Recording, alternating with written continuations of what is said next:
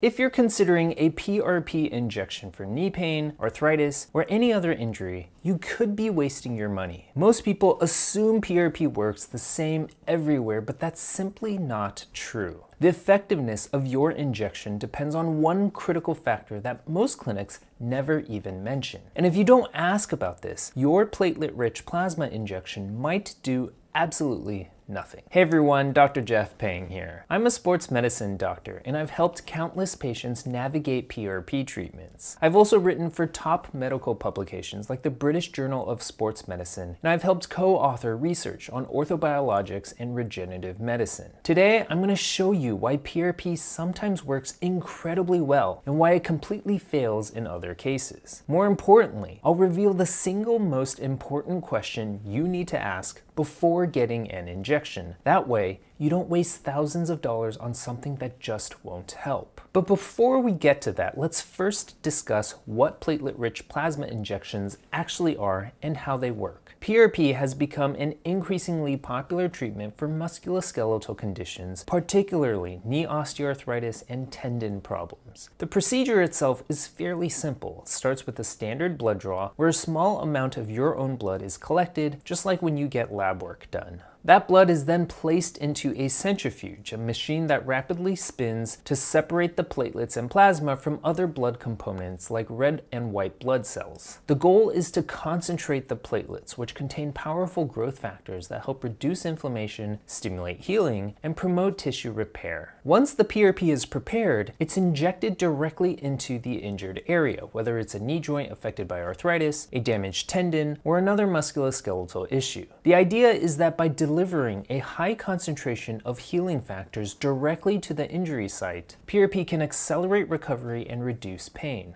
And all of this sounds very promising, right? But here's the catch. Not all PRP injections are the same. The number of platelets in the injection is the single most important factor in determining whether PRP will actually work. And this is where many people and even most doctors go wrong. That's why before you get a PRP injection, you need to ask one crucial question. How many platelets will I be getting in my PRP injection? A systematic review published in Arthroscopy analyzed 29 randomized controlled trials evaluating PRP for knee osteoarthritis. The study found that PRP injections that contained higher platelet doses, averaging 5.5 billion platelets per injection, led to significant clinical improvements, while injections with lower platelet doses, averaging 2.3 billion platelets per injection, showed no statistical difference from placebo. The results at both 6 months and 12 months post-injection demonstrated that platelet concentration was directly correlated with better outcomes. These findings suggest that PRP is not a one-size-fits-all treatment. Its effectiveness is highly dependent on platelet dosing. A separate meta-analysis published in the American Journal of Sports Medicine further supports this conclusion. The study examined 18 randomized controlled trials with nearly 2,000 patients and found that PRP was only effective when platelet concentration concentrations exceeded 1 million platelets per microliter. Patients who received high-dose PRP experienced significant pain relief and functional improvements, with benefits lasting up to 12 months. However, low-dose PRP failed to show a meaningful clinical benefit, particularly in terms of pain relief as measured by the visual analog scale. This research highlights why many PRP studies in the past have produced conflicting results. Some trials use PRP with too few platelets to be effective, effective, and this led to skepticism about PRP's overall efficacy. And the importance of platelet dosing in PRP injections is not limited to knee osteoarthritis. A systematic review and meta-analysis published in the American Journal of Sports Medicine analyzed PRP injections for lateral epicondylitis, also known as tennis elbow. This study found a direct relationship between platelet concentration and clinical outcomes. Patients who received high-dose PRP, which was more than three times the normal platelet concentration in blood, showed significant symptom relief compared to placebo and other treatments. Conversely, low-dose PRP was was no better than placebo. The study also found that 58.5% of the variability in PRP outcomes could be explained solely by platelet concentration. This reinforces the idea that PRP only works when enough platelets are delivered to the injured tissue. Given this overwhelming evidence, patients considering PRP must be proactive in ensuring they receive an effective dose. When consulting a healthcare provider about PRP, you should specifically ask about platelet concentration and total platelet dose. A good provider should be able to tell you a ballpark platelet count in your PRP preparation. Research suggests that PRP doses above